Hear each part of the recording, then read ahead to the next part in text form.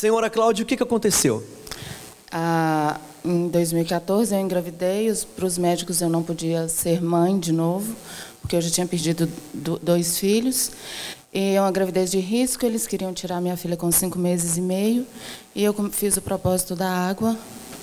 E aí a criança que eles queriam tirar com cinco meses e meio. Eles queriam tirar com cinco meses e meio. Que era mais fácil ela nas, nas, máquinas, nas máquinas do que dentro de mim. E eu não deixei. A senhora não aceitou essa palavra? Não, nunca aceitei. Nada que eles falavam comigo eu aceitava.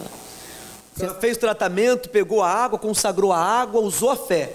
Quando eu tinha muita dor e não conseguia sair da cama, eu fazia pela televisão, pelas, pelas orações seis e meia na Record.